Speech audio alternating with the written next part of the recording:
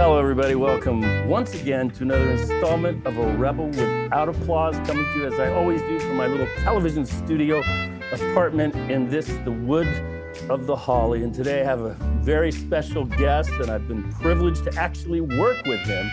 He is a writer, a director, and I might add a very talented actor, but most recently, he has achieved something that is well, it's amongst the rarest thing that can happen in Hollywood, and that is an actual movie that's a hit in theaters. And it's called 80 for Brady. And with me today is Kyle Marvin, who directed and co wrote this movie, which I was privileged to be in. Welcome to my little cage here, Kyle. Thanks for joining me. I so appreciate it. My pleasure. Just tell me right off the bat what does it feel like to have a hit movie? It's strange. It's a strange thing. It's it's sort of like everything in life where you always feel like, you know, when I get when when X happens, I'm gonna feel like something. And every time you get there, it doesn't really feel like the the thing you expected. Um, uh-huh. I'm certainly really proud of the movie. I'm really proud of who turned up to see the movie, um, which was an audience that people had sort of said wouldn't come back to movie theaters. Um, and that I think I'm really proud of that, that it sort of set uh, a message to our industry to just say like if, if you make content that are for the people who uh, who you know who you want to have see the movie they'll show up and, and see it. So um, you know it's great. It's awesome. It, I try and keep an even keel in my life because there's highs and lows in this industry. And so I feel like if I can keep a relatively even keel, I'll be all right. So I'm taking it all in stride. Good. I've experienced the lows. I've never been quite to the highs. I've been somewhere in the media, you know. ultimately, goes. Yeah, ultimately, you know, my experience is the process is the reward. The opportunity yeah, to make movies is and just to be in the arena to fail or succeed that is the rarest privilege and i I had to learn that lesson a little bit the hard way. Uh, you know, we were talking before this, and it's and it's great because every person who who who joins you in, in a movie in every capacity on set, uh, if they all try and bring their best to that that position, as as lowly as it could be, the PA on set who's like going to do coffee runs, like every every person on set adds tremendous value to the overarching production. And that's very true with actors who come really well prepared and who can bring things to that role because every role is important. You know, every every person, even even the people walking in the background, if they're if they understand their motivation and they understand what they're doing and they're doing it naturally, it creates a tapestry that feels natural and organic and it builds towards you know a better movie. And i think people shouldn't disregard their contributions to a movie because all of those things matter in the grand scheme of of the movie itself. I think they all contribute to the quality of the final product. Yeah they're all links in a chain. And by the way if one of those little links doesn't work you see it it just jumps out and leaps out at you. You're trying to trick people in essence. Like you're trying to convince them that this artifice is real in the moment. And if anything breaks the artifice, and that could be camera work, and that could be sound, and that could be a million things, um, any one of those, you know, cracks in the armor pull them away from fully committing to the project. And so, like, you know, the more that people commit and the more that people live in, in, in honesty in those moments, the better the overall I think you're probably the first director in cinema history to direct four legends and a goat. Yeah. I'm sure there's been four legends and a goat, but just not four legends and the goat. The goat, um, right. Yeah. Yeah. I, I can um, only imagine yeah. what that was like. I mean, if you were intimidated or will they accept me or, I mean. Yeah, it was, it was intimidating at first uh, in like those initial conversations when we were sort of like, uh, you know, having the very first conversations and getting their attachments. Those moments are real feel really precarious because it's kind of like going on a first date. You know what I mean? You're trying to be authentic. You're trying to put your best foot forward, but you know, ultimately, you're going to have to be who you are, and you're going to have to hope that like your your relationship works out. Um, and so that part is really daunting. I think once we got into production, they're all such consummate professionals and the truth is, is that on a film set, everyone wants the same thing, which is a great performance. And so there is immediately shared sort of uh, interest and shared activity towards making a good performance. Um, and so it became more natural pretty quickly. But yes, there were definitely moments where I was like, I'm going to look back on this and think, my God, you know what I mean? I'm like sitting here with these, you know, individuals having this experience, and it's it was very, um, you know, it was very magical in that in that you way. know i was going over some of the credit lists of jane of course you know and i actually had the opportunity to tell her i just saw Klute again and her performance with donald sutherland is so exquisite. There's moments where she just takes his hand and they're walking they're shopping for vegetables and you go oh my god they're in love you know this and and uh, i could just from jane's movie some of her she was such a great comedian early on with barefoot in the park and one of my favorite westerns was Cat Ballou. I don't know if you ever saw that movie. Oh, I did. I did see Cat Ballou. Yeah, it's a great western. Yeah, shot in, uh, shot in Jackson Hole, Wyoming. I think some of that. Y- yes, and you know, got Lee Marvin and Oscar. That movie also had um, Nat King Cole and Stubby Kaye singing. You know, at the That beginning. singing, yeah, that song is iconic. Yeah, Right, and the Farrelly brothers, you know, ripped that off with um, course. something about Mary. That was just like, okay, I got it, you know, but it's not a rip off. You know, they're sitting on their shoulders. But- Captain Homage or in the tapestry of subconscious. Right. and then when I saw your movie yesterday, which I really loved, you as an actor in The Climb with the chapter headings, Right, we do it too. The Fortune Cookie. I don't know if you've ever seen that movie, but it's just one of my favorite Billy Wilder movies. Also sports related because the guy gets injured at, at a Cleveland Browns football game. But um, yeah, I mean, when you think of That's some of the directors, uh, Sydney Pollack and you know, just the list goes on with Jane, Barefoot in the Park. Uh, I mean, there's so many movies, um, uh, The China Syndrome, and of course Sally. I thought her performance in your movie was sublime. She just has an incredible naturalness and belief that I kind of thought, in a way, anchored the movie for me in many ways. You know, she Yeah, she she for sure she has a great gut instinct toward character and I think she, you know, she is a force in herself in that she knows creatively where she wants to take something. She has a very like solid solidified idea um, in terms of what needs to be done along the way in order to reinforce that and I think she was a great partner in that sense that she she was very you know, she was very confident in in where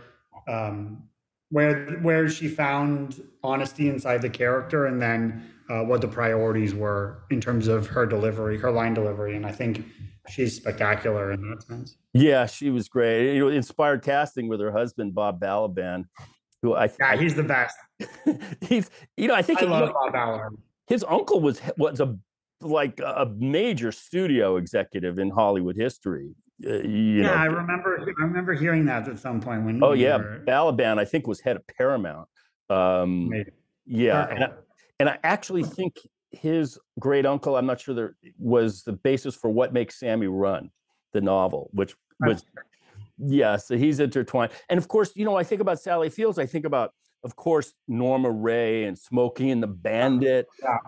But her relationship uh, with was some one of the great directors for actors, Martin Ritt, you know, she d- yeah who did, I believe did that movie and was uh, and then Rita is in perhaps the most influential movie that I've ever seen for me, especially for the one I directed, which was Carnal Knowledge. I mean, with Yeah. Mike Nichols. That's like I think your movie too had some I mean, Carnal. Knowledge was definitely a, a reference for us, and it's funny because I talked to Rita about Carnal Knowledge too on set because it's because it's a favorite of mine as well, and I was sort of like, what was it? I was trying to like glean, you know, get some insights from her of like what that whole experience was like because it was such a, and then her, her role in it is so surreal and and wild, and so we had a we had a great conversation about that. Yeah, and then I'm just see, these are all the rivers that flow now into you Yeah. because then with the last Lily, of uh, you know, I think about the breakthrough movie for her, which was Robert Altman's Nashville, Yep. which was almost like reinventing a kind of filmmaking of um, you know half improv, half yeah, that sort of verite. Um, you know, the camera drifts to the audience, and you hear someone talking in your left ear. y- Some of this- yeah. yeah. Now, some of that freedom you had in um, the climb, but I felt like in the, the in 80 for Brady, you were obviously constrained because you had to prepare a movie that would match seamlessly with a Super Bowl that had occurred. It was 217, but it was the championship for the season of 2016. Uh, that most memorable of comebacks in NFL history. So, talk about just how you had to prepare to seamlessly make that work. Yeah, I mean, there was two. There were two sides to it. One was one was the the visual side because we had to convince the NFL to agree to let us have the footage, and and Tom Brady helped a lot in that sense. Um, and then we had to sort of see what we had in terms of footage. We had to try and understand and dig deep into their archives, and we flew to um, New Jersey and went to NFL Films and went with their archivist through the old hard drive or the old storage. They have a really robust system for archiving their things.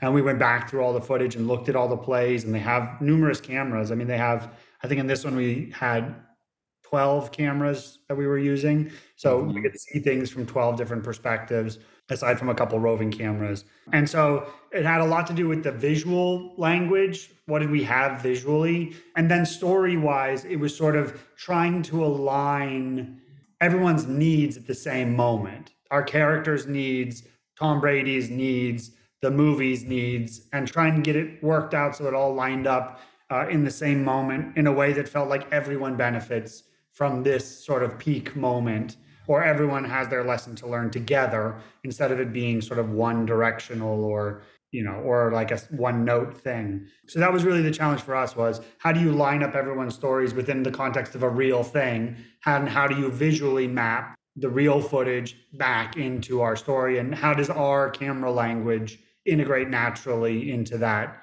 uh, that setting? And so all those things were it's a bit of a puzzle piece in terms of uh, figuring all those components out but i think in the end we we pulled it off well what i was doing my little part there, you know, with the green screen, looking at yeah. all this stuff.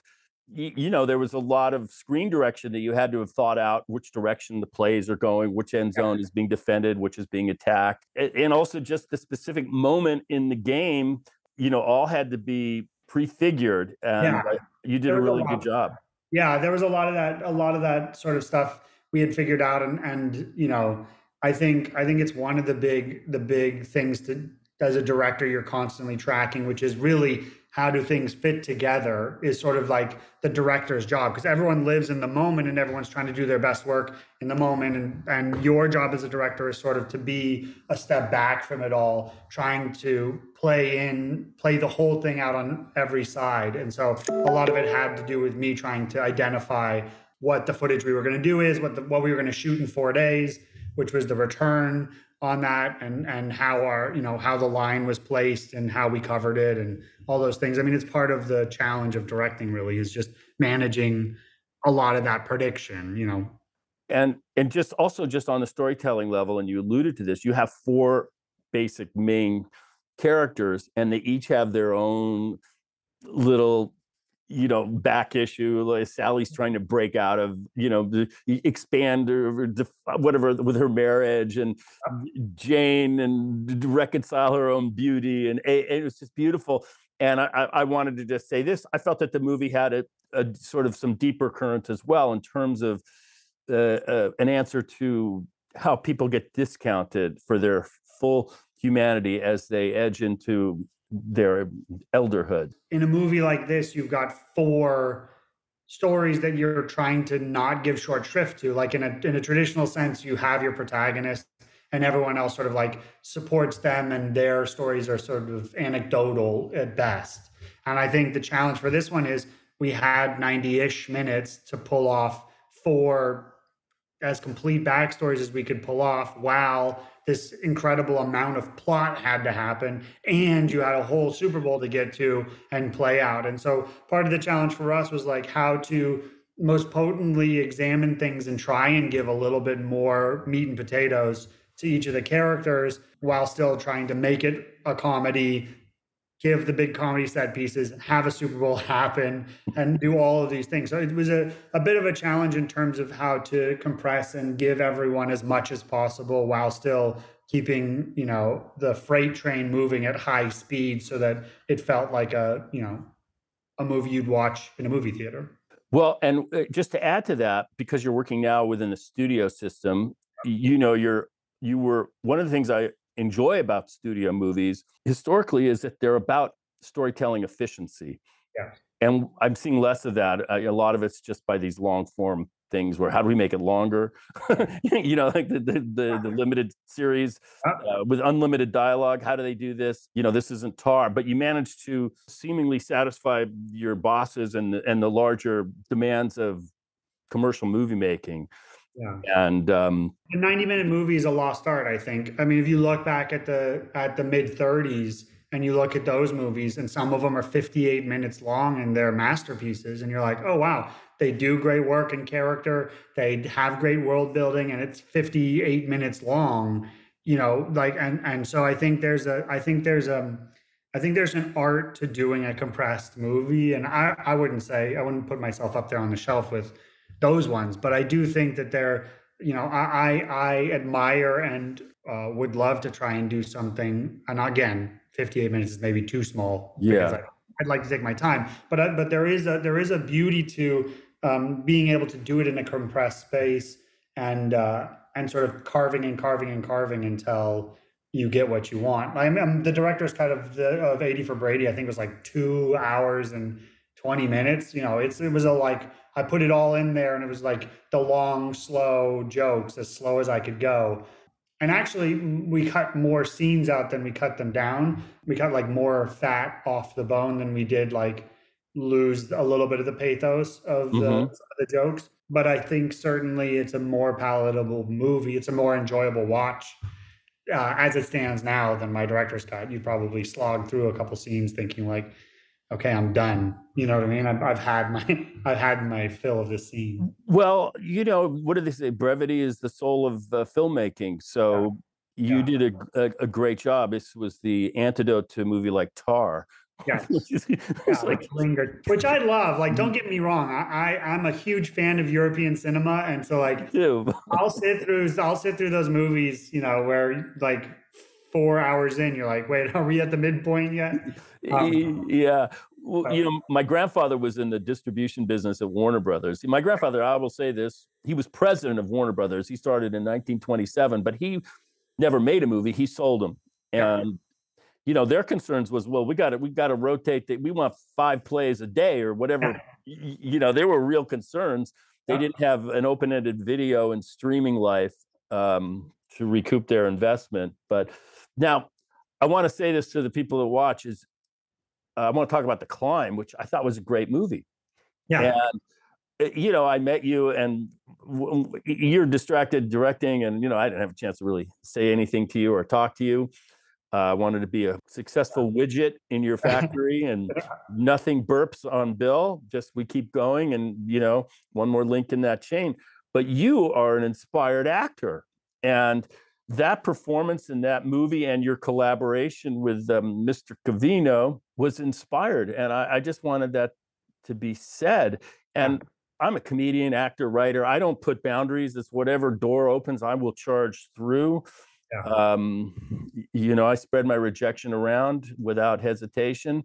Yeah. But I, I just wanted you to talk about your journey as an actor because clearly that had to give you some cred with those actresses. Yeah, yeah, and and uh, we I did a show called WeCrashed, which came out right as the as our movie was coming out, and I think the actresses we would talk about it on set because it was sort of happening in real time, and that definitely I think actors seeing actors act who are it, it changes the conversation because there is a sort of like a shared we're in the trenches you know what it's like to like you know be in a scene and and be floundering in a moment and needing the support uh, you know of something else or of some physical action or things to help you through. So i think that shorthand helped a lot. In terms of my journey i came up through commercial production. I've always loved acting. I, I did it when i was younger and but I, it really felt unattainable to me when i when i sort of started my life in the working world and I had kids young and I had to work. And so I, I was in commercial production. I just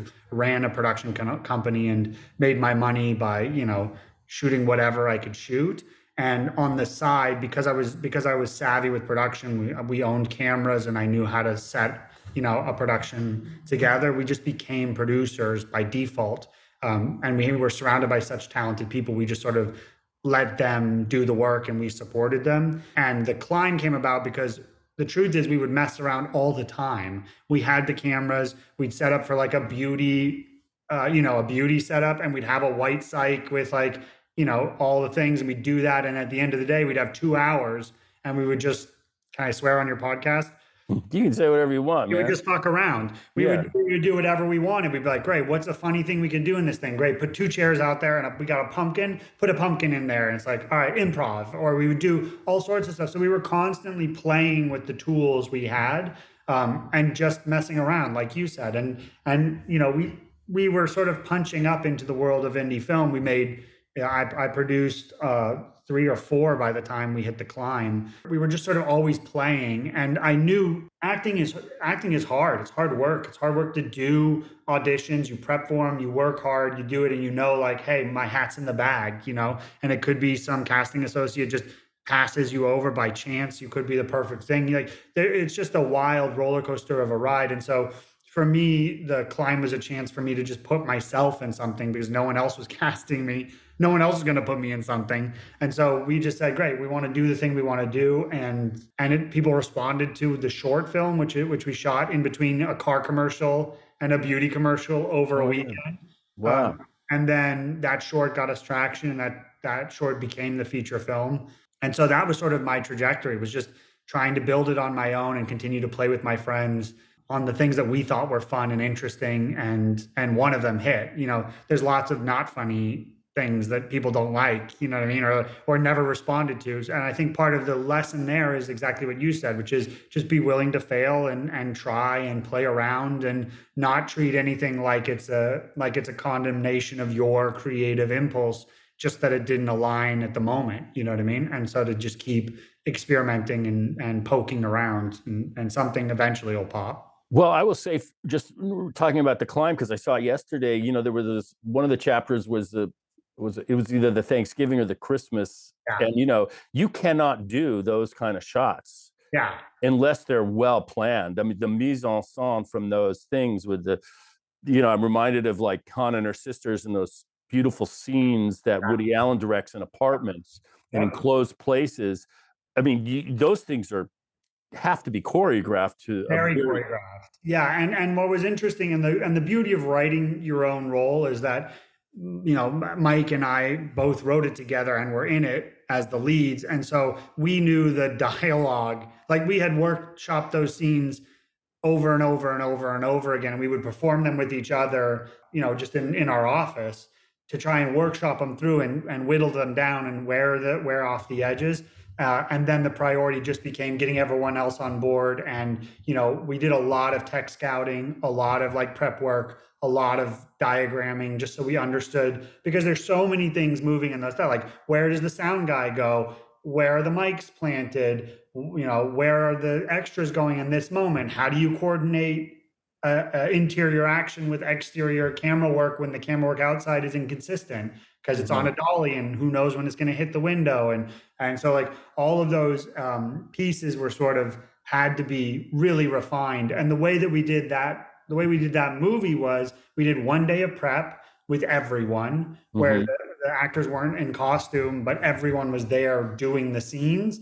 And then we would just run it, run it, run it, run it, run it. And then we reviewed at night to sort of like see the timing and figure out if there was any gaps with our technical team. And then the next day we would just run the scene back to back, run it, run it, run it, run it, run it. And eventually we everyone just got a cadence. And then on take five, six, ten, we would say, got it, we nailed it, everything was in place. And then we would push even further as far as we could. And then we'd be done. And then be like, great, we either got the scene or we didn't, but we'd know in two days. Every one of those things took two days one prep, one shoot day. And then we would just march through all those productions. And then the, I guess it wasn't the last scene, it was the penultimate chapter when you get married.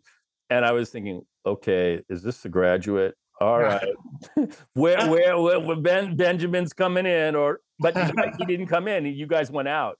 Yeah, yeah, exactly. it, it was a little bit of a twist on what happens. Funny too, because like we were talking about every piece in the puzzle, every cog is important. Really, in those scenarios, it's exactly true because all the background, everyone had to be so coordinated because you don't want to be the one 12 minutes and 45 seconds into a continuous take to flub your line or you know or or the guy holding the bounce board to step two inches to his left and get in the frame and so you know that was really that really felt like a, a team effort. And it was fun because everyone felt the pressure. You know everyone feels the pressure in when a scene is rolling but really everyone feels the pressure when you're you're running long takes and no one wants to be the one to mess it up. Well, there's some just beauty to that in cinema. Totally. uh, you know sometimes uh, my own experience is an actor will give you a performance. Sometimes an actor will give you a puzzle and then you have to piece it together you know? Yeah. And your that movie really demanded performances and not a puzzle. Yeah and and it's and and i think you know i i very much and i say this without enough experience to say this I, am okay with experimentation. I'm okay with like f- finding different things or playing around with moments but i think the thing that can be variable is character motivation and character journey. Um, and those things I think have to be constants because I think if an actor plays from from a clear, consistent character motivation in the scene, mm-hmm. their actions can be variable, but yet it will still come out the same as an, in the edit. You'll know where you're starting. It'll feel consistent, and you'll know where you're headed. And so I think it's really important to have conversations with my actors about motivation, desire, needs, obstacle um, as a priority for characters in a given scene because as long as those are consistent, the movie stays whole. I think where movies get into trouble is if they're like, "Well, try this one like you're mad." You know, try this yeah. one like you're like you're you're like you're off in the corner and you're just not paying attention. And and I think if you do that without a clear character motivation being the constant in that moment, you end up getting, you know, sort of things that feel disjointed or things where you're not really engaged with the emotional journey. And I think that's more important in comedy than anything else. I think in comedy, because of the improv nature of our contemporary comedy of the multicam, sort of like crack a joke and who can outdo each other in the improv in the moment, which is fine and fun and, and has its value. I think we've maybe lost sight a little bit uh, in the grand scheme. I think there's a lot of people who are are staying the course, but in the grand scheme, I think we've lost a little track of the fact that character motivation in comedy is even more important. I think you know to keep to keep in mind as you as you put a movie together. My favorite movie of all time is The Apartment. To see the things you just spoke about, where yeah. you see the great jokes, yeah. beautiful setup and payoff, the mise en scène, the use of props, yeah. The, the, conception with the writing, and the deep themes at the at the core of it, with tragedy and comedy like on the same razor's edge. To me, that's my favorite movie of all time for that great, reason. It's a great movie, and and I think. Uh, uh, exactly to that point. I think you're exactly right. They say in Casablanca the fundamental things always apply, and that's like logic character kind of goes back to Stanislavski and all the, the acting school stuff. Yeah. Quick question I have, you know, you sometimes you know actors don't want to hear that shit. Like, what fuck? I, my motivation is to get my health insurance back. You know, yeah. like uh, oh, which has been a big motivation for me actually in my career yeah. to keep it, get it back, please. Um, and so when you're dealing with people that have been on Mount Olympus, you know, with Oscars and Rita's gotten them all. You know, she's she's got the whole um, the MVP thing going. How, how willing or able or eager were they to have those kind of conversations and interaction with you? They all were completely willing and, and interested. I think all of them prioritized it. I think that I think if you get to the point on on a set where where you say what's your motivation and someone says money, um, I think that I think that you've you've lost you've lost them you know what i mean? I think all actors want to do great work fundamentally. You know what i mean? Just like all artists want to do the best work they can. And i think when they feel like they're unable to do their best work they'll check out and you'll sort of lose you'll lose the potency of that moment. And and i think uh, you know it's it's very incumbent on me as a director to continue to consult their interest and willingness in order to keep them engaged with the characters in the moment. And i think and I think in the sense of like, what's my motivation in the scene is sort of like the generic, like, you know, the TV movie director statement. If you were like, oh, he's a director and he's telling them what their motivation is. But the truth is, is that it really is at the core of of everything. And it is a very fundamental truth. And I think if you if someone really cares about what's happening in that moment in the performance, it's the most anchoring concept for an actor to just say, great, what, what I really want in this moment is to just to go to the bathroom.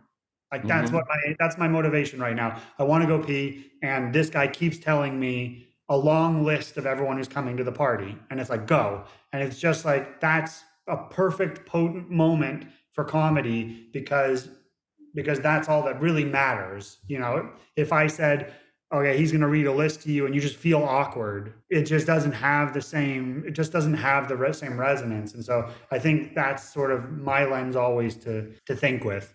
What's actable, you know, is, is, is those things you can't act a result.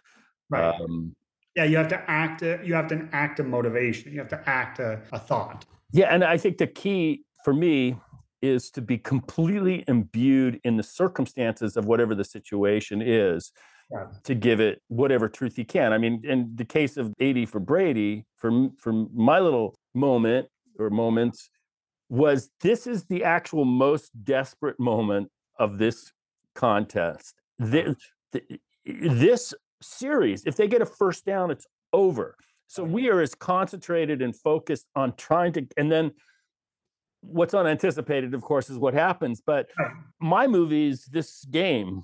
Yeah, right. And and actually, they were getting slaughtered yeah.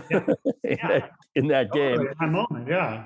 Yeah. And what's crazy, but what's interesting is that is that it's one of the reasons I responded to what you were doing in, in your tape was because if you had a character in that scenario who is self-aware of the joke and sort of waiting for the joke of Jane Fonda to interrupt him and sort of hammed up a like whoa you know thing it kills the it kills the joke because what makes it funny is how focused you are on your thing being interrupted by this person and your response to her invading into your privacy is a really genuine response. And that's people find that moment funny because you're so convicted you're, you're you have so much conviction towards the real task at hand. And i think that that's the for me when i'm sort of finding or flagging people i try and i try and find the people who are chasing the real scene because that's the funniest version of the scene. It's not the comedian who's really good at stand up who like I know can ham it up and wink at the camera. That's I, me. Stand up. 10, 20, 30 years stand up, but you know. But, but stand up,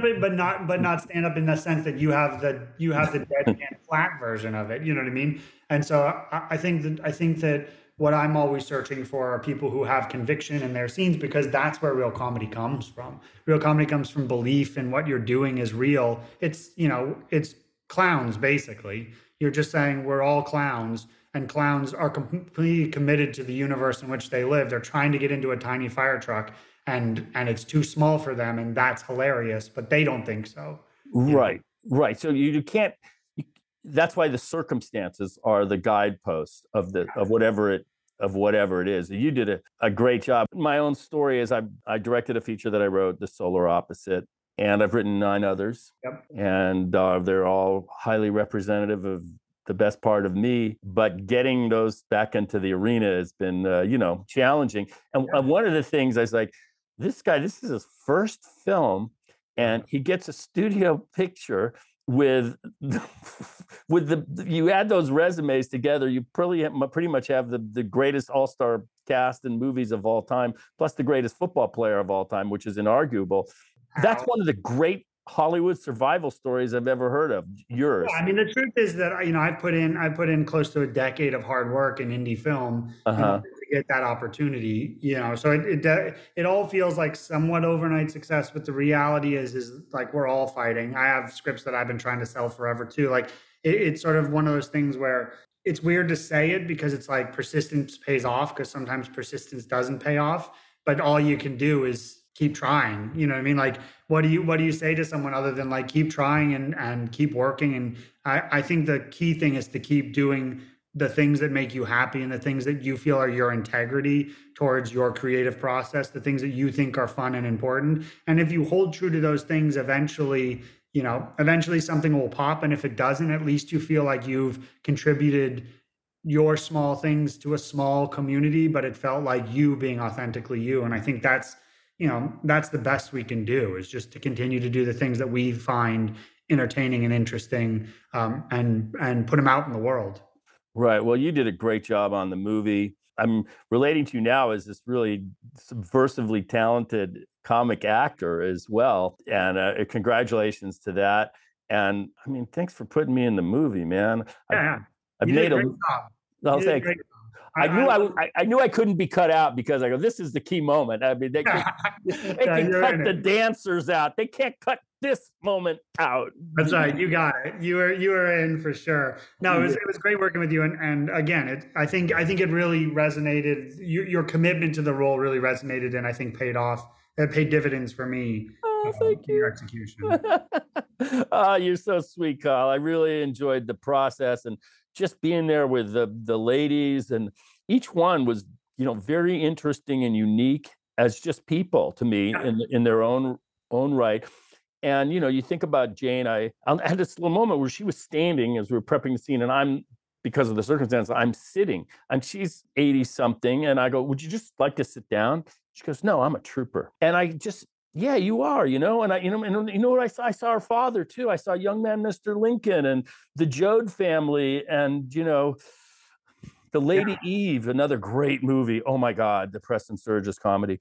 Um, yeah, it's funny. We talked about Preston Sturges a bunch. She she loves Preston Sturges, and and I, I happen to have an affinity towards it, um, towards his work, and so and we we hit it off on on Preston in our first conversation. Oh, brother, where art thou? Yeah, yeah exactly. The great movie from Sullivan's Travels.